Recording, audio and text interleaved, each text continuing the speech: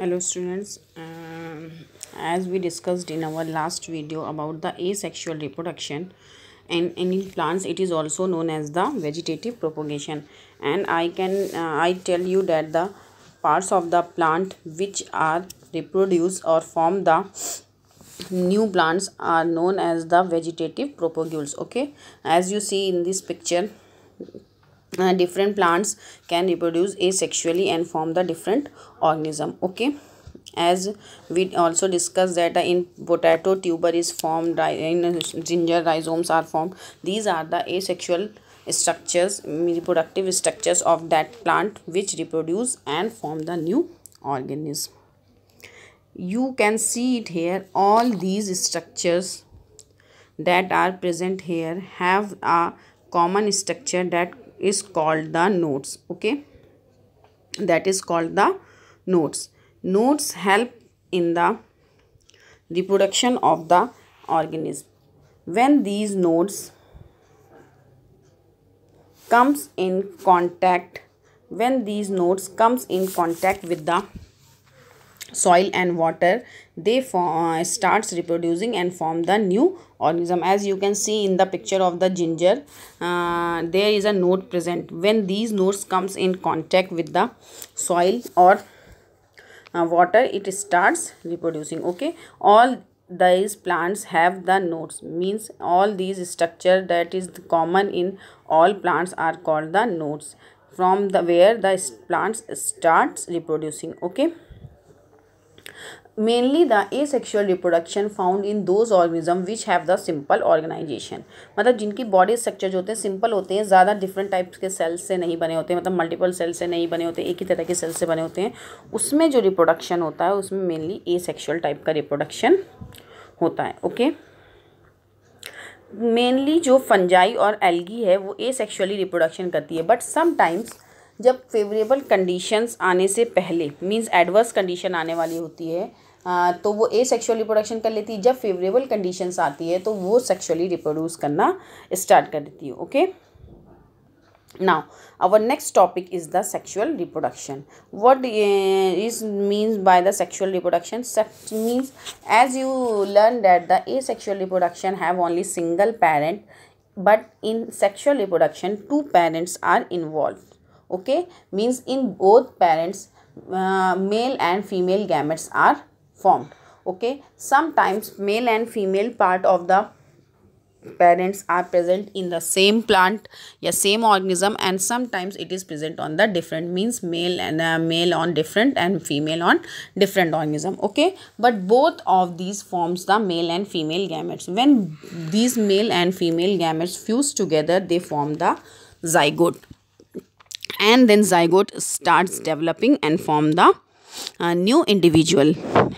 As you can see uh, know that all these structures means the all these process means the formation of the male and female gametes and formation of the zygote is common in all the organism that is reproduced uh, sexually means in animals plants and fungi algae all these uh, processes are common means in each plant animals and organ fungi algae male and female gametes are formed and when they fuse together they form the zygote okay?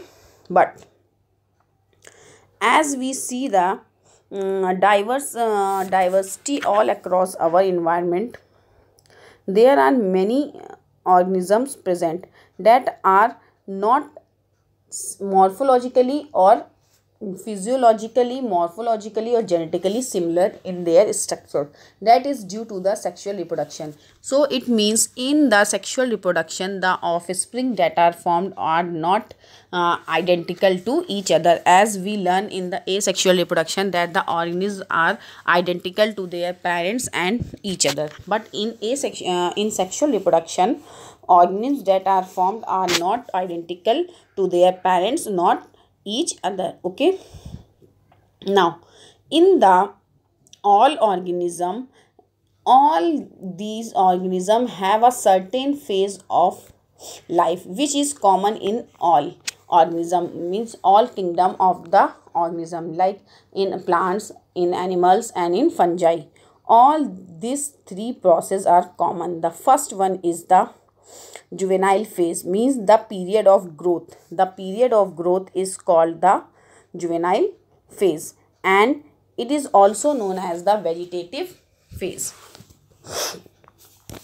ये आप देख सकते हैं juvenile phase क्या है means किसी भी organism की लाइफ में जो है वो किसी भी तीन स्टेज से होकर के सर्टेन स्टेज से होकर के जाता है चाहे वो प्लांट किंगडम का हो एनिमल का हो या एल्गी और फंजाई किंगडम का हो बट उनकी जो लाइफ में ये थ्री फेजेस ज़रूर आती हैं। मीन्स वो पहले बर्थ लेता है, फिर ग्रोथ करता है मैच्योरिटी गेन करता है अपनी लाइफ में। वो सेक्सुअली रिप्रोड्यूस करना स्टार्ट करता है। तो जो वो पीरियड जब वो मीन्स उसका बर्थ होता है बर्थ से लेकर के वो जो ग्रोथ फेस कर रहा होता है मतलब जिसमें वो बड़ा हो रहा होता है। अभी उसने रिप्रोडक्शन करना स्टार्ट नहीं किया, सिर्फ़ वो जो ग्रोथ फ़ेज़ होता है उसका this phase is known as the juvenile phase okay इसको वेजिटेटिव फ़ेज़ भी हम बोलते हैं प्लांट्स में। Different different organism had different juvenile और वेजिटेटिव फ़ेज़ किसी में आप देखते होंगे जल्दी किसी प्लांट्स में जल्दी फ्लावरिंग होने लगती है, किसी में लेट फ्लावरिंग होती है, किसी में फ्रूट्स जल्दी आ जाते हैं लेट आ जाते हैं। This is all depend upon their juvenile phase मतलब उनका कितना पीरियड है। आपने अपने एरिया में ही देखा होगा, कुछ प्लांट्स जो होते हैं कुछ मंथ्स में ही सर्टेन मंथ्स में ही फ्लावरिंग करते हैं, कुछ जो होते हैं थ्रू आउट द ईयर करते हैं। कुछ प्लांट्स ऐसे होते हैं जिसमें हमें सीजनल फ्रूट्स मिलते हैं किसमें हमें throughout the years fruits मिलते हैं। This all depends upon their phases okay after the juvenile phase the next phase which is come, is called the reproductive phase. Reproductive phase means जब there's an organism get matured and starts reproducing. मतलब कि juvenile phase के and होने के बाद जब वो कोई भी ऑर्गेनिज्म ग्रो कर जाता है मीन्स मैच्योरेशन स्टेज में आ जाता है। मैच्योरेशन होने के बाद चाहे वो एनिमल हो प्लांट्स हो, को दोनों में कोई भी हो मीन्स वो जब वो मैच्योर हो जाता है और रिप्रोड्यूस करना स्टार्ट कर देता है मीन्स उसमें जो है गैमेट्स का फॉर्मेशन होना स्टार्ट हो जाता है। उनके जो रिप्रोडक्टिव ऑर्गन है, वो एक्टिव हो जाता हैं and start producing the gamete this phase is known as the reproductive phase of that organism okay then after that क्या आएगा? ओल्ड एज आती है जैसे। उसी तरह के this phase is known as the senescent phase senescent means क्या होता है? ऑल द प्रोसेस स्टार्ट्स जब उसका रिप्रोडक्शन रिप्रोडक्शन पावर जो होता है, वो कम हो जाता है धीरे धीरे ख़त्म हो जाता है this phase is known as the senescent phase तो किसी भी ऑर्गेनिज्म की लाइफ में, चाहे वो प्लांट प्लांट किंगडम का हो एनिमल किंगडम का हो, या अदर किसी भी किंगडम का हो, जो सेक्शुअली रिप्रोड्यूस कर रहे हैं, ये तीन फेजेस जो है, वो सर्टेन हैं फिक्स्ड हैं. Means first one is the juvenile phase which is called the growth phase second one is the reproductive phase and third one is the senescent phase ये कई बार क्वेश्चंस पूछे जाते हैं फेजेस ऑफ़ द ऑर्गेनिज्म तो आपको याद रखना है growth phase is called the juvenile and maturation phase is called the reproductive phase maturation phase कब आएगा? जब वो बिगनिंग uh, हो जाएगी रिप्रोडक्टिव फ़ेज़ की जैसे ही वो uh, मतलब जुवेनाइल फ़ेज़ एंड होगा वैसे ही क्या हो जाएगी रिप्रोडक्टिव फ़ेज़ की बिगनिंग हो जाएगी मतलब वो मैच्योर हो जाएगा और गैमेट्स का फॉर्मेशन करके करना स्टार्ट कर देगा। और जैसे ही रिप्रोडक्शन पावर कम होने लगेगी मीन्स रिप्रोडक्टिव फ़ेज़ का एंड होगा तो सेनेसेंट फ़ेज़ स्टार्ट हो जाएगी ओके तो different different plants and animals have the different juvenile veget juvenile vegetative और reproductive and senescent phase okay now on the of of the plants reproduction reproductive system plants is of two types annual and biennial आपने देखा होगा, एक annual होते हैं जो साल में एक ही बार क्या करते हैं? रिप्रोड्यूस करते हैं मीन्स प्रोडक्शन करते हैं फ्लावर्स का और आ, किसका करते हैं फ्रूट्स का। बट कुछ जो होते हैं वो बाइनियर होते हैं वो प्लांट साल में जो है ईयर्स में कई बार जो है मैच्योर होते हैं और फ्लावरिंग करते हैं फ्रूट्स का फॉर्मेशन करते हैं। तो इसके बेसिस पे हमने प्लांट्स को टू टाइप में डिवाइड किया है annual and biennial annual means साल में एक बार ओनली एनुअल मीन्स ही होता है yearly and biennial means year में टू टाइम्स ओके तो इसमें जो है हमें क्लियर कट जो है थ्री फेजेस दिखती हैं प्लांट्स में vegetative reproductive and senescent phase but जो पेरिनियल प्लांट्स होते हैं जो थ्रू आउट द ईयर मतलब सा, पूरे साल जो होते हैं फ्लावरिंग भी करते रहते हैं फ्रूट्स भी करते रहते हैं, इसमें जो है डिफ़िकल्ट होता है to clearly define between these three stages क्योंकि इसमें हमें समझ ही में नहीं आएगा कि कब जो है रिप्रोडक्टिव फ़ेज़ आ रही है, कब जो है वो सेनेसेंट फ़ेज़ में जा रहा है। क्योंकि थ्रू आउट द ईयर वो कैसा ही दिख रहा है, वैसे ही हमें सेम दिख रहा है फ्लावरिंग भी हो रही है फ्रूट डेवलपमेंट भी हो रहा है। बट जैसे मैंगो ट्री आपने देखा होगा मैंगो ट्री में ओनली ईयर में एक बार ही मैंगो आता है। तो ये कौन सा एनुअल प्लांट है। इसमें हमें ईजिली समझ में आ जाएगा जब वो, कब वो उसमें जुवेनाइल फ़ेज़ आ रहा है।